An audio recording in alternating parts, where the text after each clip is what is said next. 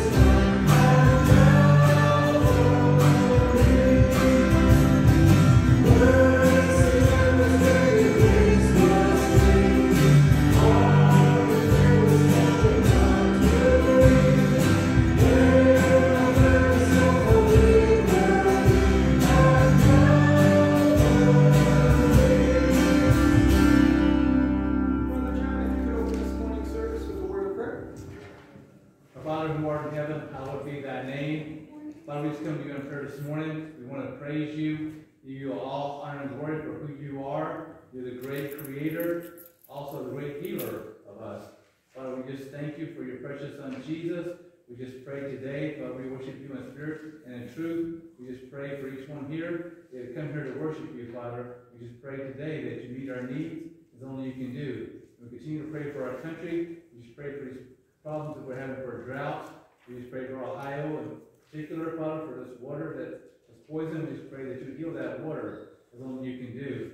We just pray for the persecuted churches, Father, for these people that are suffering and dying for their faith, that you give them strength to stand in their time of trouble. And Father, I want to lift up this person, Rick, Father, who's a, who a bus driver, who has to have surgery on Tuesday. We just pray for healing, Father, that you give the doctor's wisdom how to perform this surgery. For his voice, we just pray that you meet the need there. Again, we thank you for our pastor, that you encourage him this morning, giving words to us today. We just pray for Steve and each one involved in music program, just bless that also. Again, we thank you for your precious son, Jesus. In his name we pray. Amen. Amen. You may be seated. Our next song we're going to be singing is on page 234, and that is Crown Him with Many Crowns. So good to see everybody here, considering we had the uh, losing hour of sleep, right? Which I had people telling me that the government changed that law, and we weren't going to do that anymore. But I did it just in case. But uh, we're going to sing the first, the second, and the fourth. Crown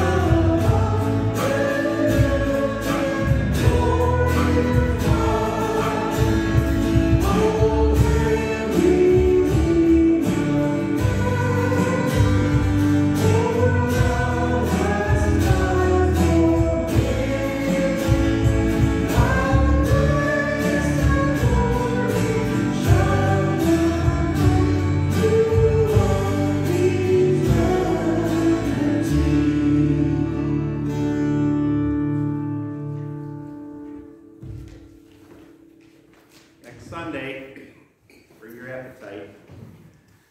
So we have corned beef and cabbage Sunday, and uh, bring a friend. So uh, at this time, we'll take the morning offering. And it's good to see Dave here today.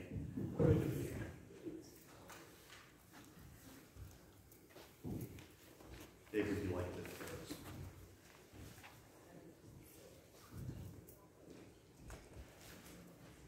Dear Heavenly Father, we're so thankful and privileged to be in your house this morning. Dear Lord, let us all just receive a wonderful blessing from you. Dear Lord, let us always strive to be the witness you'd have us be. Let us always just know that there's a, a higher power, and we can always go to that. These things we ask in Christ's name. Amen.